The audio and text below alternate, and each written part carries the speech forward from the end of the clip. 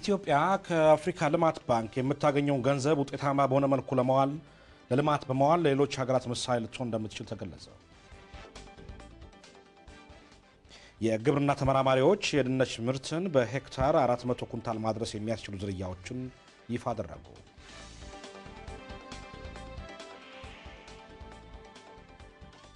ቻይና ባለፉት ሶስት አስርት ዓመታት ባስመዘገበችው እድገት በሕዝቦቿ መካከል ፍትሐዊ የሀብት ክፍልን ለማምጣት እንደምትሰራ አስታወቀች።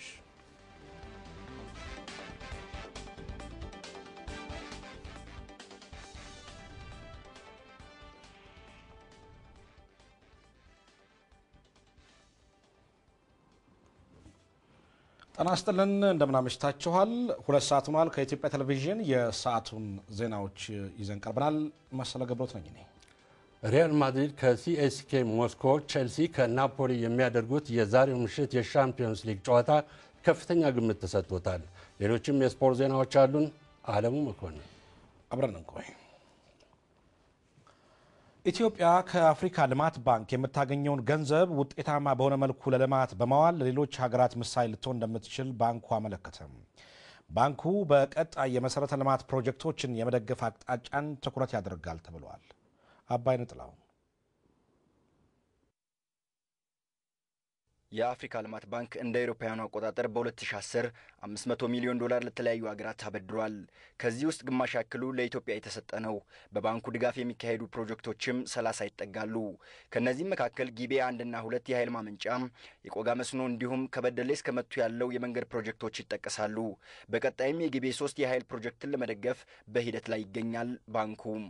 ይህ በመሰረተ ልማት ላይ ያተኮረ እድገት በአፍሪካ እንዲስፋፋ ኢትዮጵያ የያዘችውን አቋም የሌሎቹን ሀገራት ድጋፍ እንዲያስገኝ ያስቻለ ነው ይላሉ የውሃና ኤነርጂ ሚኒስትሩ አቶ አለማየሁ ተገኑ። በአፍሪካ ውስጥ መሰረተ ልማት ገና ነው። ኤሌክትሪክ ገና ነው። መንገድ ገና ነው። ሌሎችም መሰረተ ልማቶች ገና ናቸው እና ስለዚህ እዚህ ላይ እዚህ ላይ ቢያተኩር አንደኛ እዚህ ላይ ማተኮር ማለት የስራ እድል መፍጠር ማለት ነው።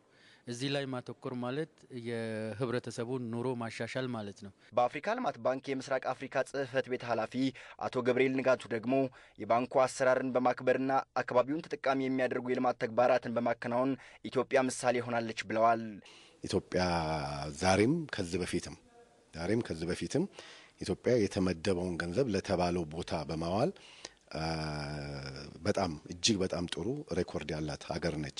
ይሄ በቀጠለ ቁጥር ደግሞ ተጨማሪ ገንዘብ ወደ ሀገሪቱ ይመጣል። ምክንያቱም ለባንኩ ገንዘቡን አንድ ቦታ ላይ ሲያውል ውጤት ማየት የሚችልበት ሀገር ይፈልጋል እና ኢትዮጵያ ይህንን በጣም በጣም ታሟላለች፣ እንዲሁም ሌሎቹ የምስራቅ አፍሪካ ሀገሮች። ስለዚህ እኔ በሚቀጥሉት አምስት ዓመታት ተጨማሪ እርዳታ ተጨማሪ ብድር ደህና ቦታ ላይ ሲውል እናያለን ብዬ ሙሉ በሙሉ ተስፋ አረጋለሁ። ይህን የኢትዮጵያ በጎ ተጽዕኖ ከግምት ውስጥ በማስገባት ባንኩ በቀጣይ አስር ዓመታት የአህጉሪቱን ልማት አቅጣጫ የሚደግፍ ስትራቴጂካዊ እቅድ በመንደፍ ላይ ነው። በዚህ ላይ ለመመካከር ነው በምስራቅ አፍሪካ የሚገኙ የባንኩ የስራ ኃላፊዎችና የየሀገራቱ ወኪሎች በሸራተን አዲስ የተገኙት። የአፍሪካ ህብረት ኮሚሽን ምክትል ሊቀመንበር ኢራስቶስ ሞይንቻ ከኢትዮጵያ ልምድና ውጤቶች በመነሳት ባንኩ የመሰረተ ልማት ፕሮጀክቶችን በመደገፍ ላይ ትኩረት ቢያደርግ ፈጣን እድገትን በማስመዝገብና የምጣኔ ሀብት የእርስ በርስ ትስስሩን ለማጎልበት እንደሚያስችል ተናግረዋል። region is characterized by a number of features. ምስራቅ አፍሪካ በቀላሉ ለተለያዩ ጉዳዮች ይጋለጣል። ይህ አካባቢ በወጣት የሰው ኃይል፣ በውሃ ሀብትና በሌሎች ሀብቶች የታደለም ነው። መሰረተ ልማት እነዚህን ሀብቶች ለመጠቀምና የአካባቢውን ሀገራት የማስተሳሰር ስትራቴጂካዊ ጠቀሜታ አለው። ስለዚህ የአፍሪካ ልማት ባንክ ለመሰረተ ልማት ልዩ ትኩረት መስጠት አለበት። የአፍሪካ ልማት ባንክን የቀጣይ አስር ዓመታት ስትራቴጂካዊ እንቅስቃሴ ለመተለም የተካሄደው ይህ የምክክር መድረክ በቀጣይ በሁሉም ክፍለ አህጉራዊ የምክክር መድረኮች በመነሻነት የሚያገለግል ይሆናል። የግብርና ተመራማሪዎች የድንች ምርትን በሄክታር 400 ኩንታል ማድረስ የሚያስችሉ ዝርያዎችን ይፋ አደረገ። በኢትዮጵያ ምርቱን በሚቀጥሉት ሶስት ዓመታት በሶስት እጥፍ ለማሳደግ የሚያስችሉ ስራዎች እየተከናወኑ ነው። ሰይድ አለሙ ድንች በዓለም አቀፍ ደረጃ ከሩዝ ስንዴና በቆሎ በመቀጠል በብዛት በመመረት ጥቅም ላይ ይውላል። በኢትዮጵያ ደረጃ ግን ማበርከት ያለበትን ያህል አስተዋጽኦ እያደረገ አይደለም ይላሉ የዘርፉ ተመራማሪዎች በባህር ዳር በተካሄደው ብሔራዊ የድንች ብዜትና ስርጭት ጉባኤ ላይ። በ1970ዎቹ 30 ሺህ ሄክታር ድንች የነበረው ይዞታ ባለፉት ጥቂት ዓመታት ወደ 160 ሺህ ሄክታር አድጓል። ሆኖም ግን ከአጠቃላይ ሀገራዊ ከሚታረሰው መሬት ሰባ በመቶ ለድንች ተስማሚ ከመሆኑ አንጻር በአማካይ በሄክታር ከ110 ኩንታል የዘለለ አይደለም። በባህር ዳር ለሶስት ቀናት በመከረው ብሔራዊ የድንች ምርምር ጉባኤ ላይ የቀረቡ የምርምር ውጤቶች ግን ምርቱን በሄክታር እስከ 400 ኩንታል ማድረስ የሚያስችል መሆኑን ጠቁመው ይህንንም አርሶ አደሩ ዘንድ ማስፋት እንደሚገባ ተናግረዋል። በብሔራዊ ደረጃ የድንች ምርምር ማዕከል አስተባባሪ ዶክተር ባየ በሪሁን ዝርዮቻችን 400 ኩንታል ይሰጣሉ። አራት መቶ ኩንታሉን በገበሬው ማሳ ማምረት ይቻላል። ግን ማን ያደርሳቸው ነው ትልቁ ችግር። ስለዚህ አቅሙ አለ፣ ጥሩ የአየር ሁኔታ አለ፣ ጥሩ ጥሩ ዝርያዎች አሉ፣ ጥሩ ሰራተኞች፣ ተመራማሪዎች አሉ። ስለዚህ ይህንን ምርት የማንጨምርበት ምንም ምክንያት የለም። ትልቁ ነገር አሁን ያልናቸው የብዜት ስራዎች፣ ቴክኖሎጂውን የማሰራጨት ስራው በሰፊው መሰራት መቻል ከቅርብ ጊዜ ወዲህ እነዚህን የተሻሻሉና ምርጥ የድንች ዘሮች ወደ አርሶ አደሩ እንዲደርሱም በዘር ብዜትና ስርጭት ላይ አርሶ አደሩን በማሳተፍ ውጤት ተገኝቶበታል። በሀያ ነጥብ ስድስት ሄክታር በማልማት አራት ሺ ሁለት መቶ ስድስት ኩንታል በማምረት እና ሶስት ሺ አምስት መቶ ስድስት ኩንታል ለዓለም አቀፍ የምግብ ድርጅት ፋኦ ለማሸጥ ችለናል። በዚህም የተሸጠው ብር አንድ ሚሊዮን ሁለት መቶ ሀያ ሰባት ሺ አንድ መቶ ብር ለማግኘት ችለናል። ሌላው የዓለም አቀፉ ድንች ምርምር አስተባባሪ አቶ ገብረ መድህን ገብረ ጊዮርጊስ እንደሚሉት በምርምር የተገኙትን አዳዲስ የድንች ዝርያዎች ወደ አርሶ አደሩ እንዲደርስ በማድረግ ከፌዴራል መንግስት እስከ ግሉ ዘርፍ ድረስ የነቃ ተሳትፎ ይጠበቃል። ለድንች ምርት እየዋለ ያለው ስድስት ሚሊዮን ሄክታር መሬት በአዳዲስ የድንች ቴክኖሎጂ ሽግግርና ስርጭት ከታገዘም በሚቀጥሉት ሶስት ዓመታት ሀገራዊ ምርቱን በጽሁፍ በማሳደግ የምግብ ዋስትናን ለማረጋገጥ የሚያስችል አቅም ይፈጥራልም ተብሏል። በጉባኤው ላይ መንግስትም የተገኙትን አዳዲስ ግኝቶች ወደ አርሶ አደሩ እየወሰደ በማስተዋወቅ ምርታማነቱን ለማሳደግ እንደሚሰራ የአማራ ክልል ግብርና ምክትል ቢሮ ኃላፊ ዶክተር ተሹመ ዋሌ ተናግረዋል። በሀገር ደረጃ ለሚገኘው አነስተኛ መጠን የድንች ምርት በሽታ የተሻሻሉ ዝርያዎችን አለመጠቀምና ከምርት አያያዝና እውቀት ጉድለት የሚመነጩ ናቸው። በፍጆታ እቃዎች ላይ የሚስተዋሉ የአቅርቦትና የፍላጎት አለመጣጣምን ለመፍታት የንግድ ሚኒስቴር አፋጸሙን እንዲያሳድግ በተወካዮች ምክር ቤት የንግድ ጉዳዮች ቋሚ ኮሚቴ አስገነዘበ። የቋሚ ኮሚቴው አባላት እንዳሉት በፍጆታ እቃዎች ላይ ያለውን የአሰራር ስርዓት ለማሻሻል የንግድ ሚኒስቴር ክፍተቶችን ለይቶ ሊሰራ ይገባል።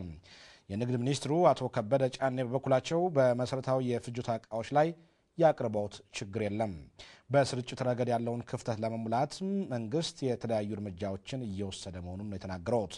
ሪፖርተራችን ጸገነት ይልማን የዘገበችው የአዲስ አበባ ወጣቶች ማህበርና የኢህአዴግ ወጣቶች ሊግ አባላት ለታላቁ የኢትዮጵያ ህዳሴ ግድብ እያደረጉ ያሉትን ድጋፍ አጠናክረው እንደሚቀጥሉ ገለጹ። የአዲስ አበባ ወጣቶች ማህበር ፕሬዚደንት ወጣት ዮሐንስ ጣሰው እንዳለው በፌዴሬሽኑ ስር የታቀፉት የወጣት አደረጃጀቶች እስካሁን ባለው ሁኔታ ለግድቡ ግንባታ ከ900 ሺህ ብር በላይ አበርክተዋል።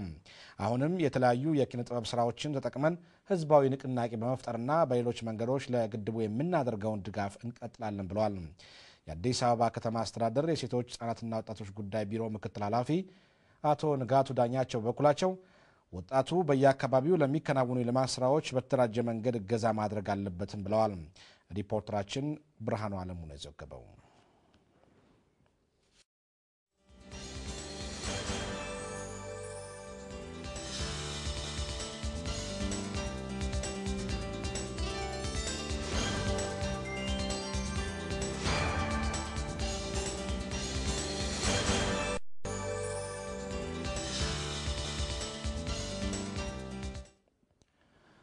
ለ16 አፍጋናውያን ሞት ጥያቄ የሆነው አሜሪካዊ ወታደር ተገቢውን ቅጣት እንዲያገኝ እንደሚደረግ የአሜሪካ መከላከያ ሚኒስትር ሊዮ ፓኔታ ገለጹ። ሚኒስትሩ የአፍጋኒስታን ፕሬዚደንት ሐሚድ ካርዛይን ጨምሮ ከሌሎች መሪዎችና ባለሥልጣናት ጋር ለመምከር ወደ ስፍራው አቅንተዋል። የተገደሉት ነፃ ሰዎች በአንድ ግለሰብ የተፈጸመ ጥቃት እንጂ የወታደራዊ ተልዕኮ አካል ባለመሆኑ በስፍራው ዘላቂ ሰላምን ለማስፈን የሚደረገውን ጥረት ሊያስተጓጉል እንደማይገባም ነው መከላከያ ሚኒስትሩ ፓኔታ ገልጿል። በተመሳሳይ የጀርመኑ የመከላከያ ሚኒስትር ቶማስ ዲ ማይዜር ጥቃቱን ተከትሎ በአፍጋኒስታን ጉብኝት አድርገዋል። በሀገሪቱ የጸጥታ ሁኔታና የጀርመን ወታደሮች እስከ 2014 በሚወጡበት ጉዳዮች ላይም ከአፍጋኒስታኑ አቻቸው አብዱራሂም ዋርዳክ ጋር መክረዋል። በአፍጋኒስታን እስካሁን ማንነቱ በውል ባልታወቀ አሜሪካዊ ወታደር 16 ሰዎች ከተገደሉ በኋላ በስፍራው ውጥረትና ብጥብጥ መባባሱን ከሮይተርስና ከቢቢሲ የወጡ መረጃዎች ያስረዳሉ። የሱዳንና የደቡብ ሱዳን መንግስታት ዜጎቻቸው በነፃነት መንቀሳቀስና መስራት እንዲችሉ የሚያስችል ስምምነት ተፈራረሙ። እንዲሁም የድንበር ማካለል ስራውንም ለማከናወን መግባባት ላይ ደርሰዋል። አስተዋይ መለሰ በአፍሪካ ህብረት አደራዳሪነት የሱዳንና የደቡብ ሱዳን መንግስታት የተለያዩ ስምምነቶችን ሲያደርጉ የአሁኑ ለመጀመሪያ ጊዜ አይደለም። ባለፈው ወር እንኳን ብቻ የድንበር ጉዳያቸውን በሶስት ወራት ውስጥ ለመጨረስ ከስምምነት መድረሳቸው ይታወሳል። በሸራተን አዲስ የሁለቱ መንግስታት የደረሱበት አዲሱ ስምምነት እነዚህን አዎንታዊ እርምጃዎች ወደ ላቀ ደረጃ የሚያደርሱ ናቸው። በስምምነቱ መሰረት የሁለቱ ሀገራት ዜጎች በየሀገራቱ የመኖር የመንቀሳቀስ፣ በፈለጉት የንግድ እንቅስቃሴ መሳተፍና ሀብት የማፍራት መብት ይኖራቸዋል ይላሉ የቀድሞው የደቡብ አፍሪካው ፕሬዝዳንትና በአፍሪካ ህብረት ከፍተኛ የአደራዳሪዎች ቡድን ሊቀመንበር ታቦ ምቤኪ አዲሱ የሱዳንና የደቡብ ሱዳን ስምምነት ለሁለቱ ሀገራት ዜጎች የደህንነት ዋስትናን የሚያስገኝ ነው። ይህንኑ ለማረጋገጥ የሁለቱ ሀገራት መንግስታት ቁርጠኝነታቸውን አሳይተዋል። የመንግስታቱ ድርጅት ሪፖርት እንደሚለው በሱዳን ብቻ ከ700 ሺህ በላይ የደቡብ ሱዳን ዜጎች ይኖራሉ። የስምምነቱ ሰነድ እንደሚያሳየውም የዜጎችን መብት የሚያስጠብቅና ተያያዥ ጉዳዮችን የሚያስፈጽም የጋራ ኮሚቴ ይቋቋማል። ከዚህ በተጨማሪም በድንበር ከለላና ተያያዥ ጉዳዮች ላይ የደረሱበትን ስምምነት ለማከናወንም የጋራ የድንበር ኮሚሽን፣ አካላይ ኮሚቴና ቴክኒካል ቡድን በጥቂት ሳምንታት ውስጥ ይቋቋማሉ። ስምምነቱንም የሱዳኑ ፕሬዝዳንት ኦማር አልበሽርና የደቡብ ሱዳን አቻቸው ሳልቫኪር ማያርዲት በቅርቡ በጁባ በሚያካሂዱት ስብሰባ ያጸድቁታል ተብሎ ይጠበቃል። የሁለቱ ሀገራት ተወካዮችም የአሁኑ ስምምነት በቀጣይነት የሚደረጉ ውይይቶችን በመተማመን መንፈስ ለማካሄድ ትልቅ ሚና ይኖራቸዋል ነው ያሉት። ዓላማችን ሁለቱ መንግስታት ኢኮኖሚያዊ ትብብር የሚያደርጉ የግዛት ሉዓላዊነትን የሚያከብሩ እንዲሁም ለጋራ ደህንነት የሚሰሩ እንዲሆኑ ነው።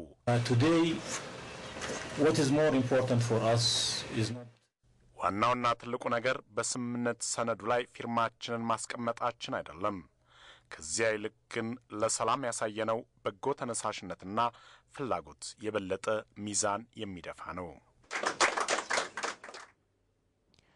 ቻይና ባለፉት ሶስት አስርት ዓመታት ያስመዘገበችውን እድገት ተከትሎ በህዝቦች መካከል ማህበራዊ ፍትህና የሀብት ክፍፍልን ለማምጣት እንደምትሰራ ጠቅላይ ሚኒስትር ዊንጃባው ገለጹ።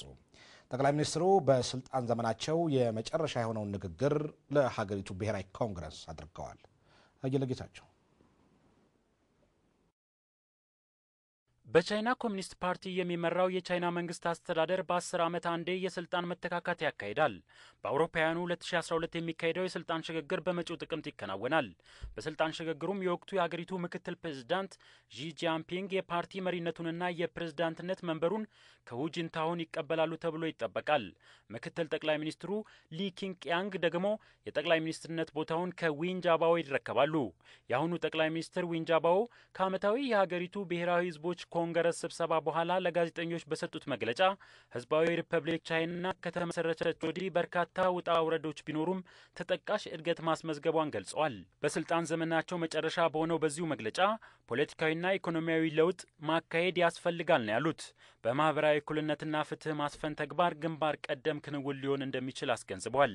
ከተመዘገበው እድገት የዜጎች እኩል ተጠቃሚነትን ለማረጋገጥ መሰራት እንዳለበት ገልጸዋል።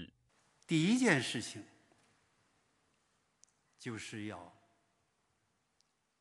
መንግስት ፍትሐዊ የገቢ ስርዓት ዘዴን የሚያሰፍን አጠቃላይ እቅድ ያዘጋጃል።